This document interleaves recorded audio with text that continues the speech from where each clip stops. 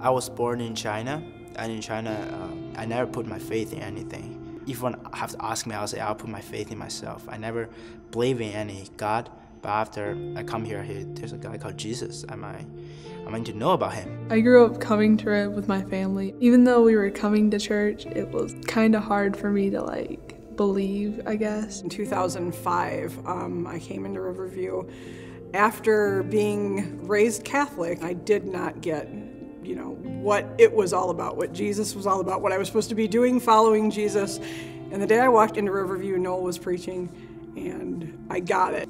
And ever since then, I've been here. After school start, uh, we had a retreat, and at, at retreat, I heard a senior they share their faith story, and that just really gave me a really, really huge impact and make me realize how much I need a savior. I need Jesus. The more I learned about Jesus here, the more I learned about you know, his dying for us and what he did for us and what we're supposed to do as followers. At that night of the chapel, I talked to my friends. I said, I believe I'll become a Christian in the future. And my friend come up to me. He just asked me, uh, Jack, what are you waiting for?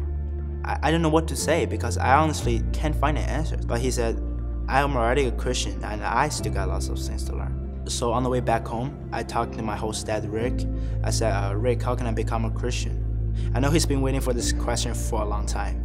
And he said, you know what, Jack, I don't want to push you, but you don't need to wait for a certain point and certain moment because God is out there for you. And it's like, you just need to accept Him. I talked to God with Him and we pray, and then I received Jesus into my life. I've been struggling for a long time about baptism because I was baptized as a child. It's a symbolic that I will share my faith in public, that I would tell like basically everyone in, in church communities that I'm a follower of Christ now. It's my showing, you know, my Riverview family that I love Jesus and my children that I love Jesus and I am following him and what he wants. I'm going to follow Jesus and I'm going to like make this a priority. God has done so many amazing things in my life.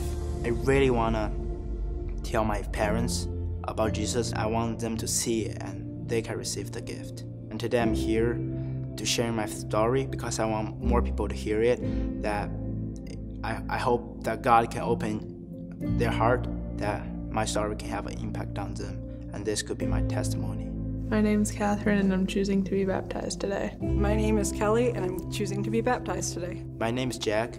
I'm choosing to be baptized today.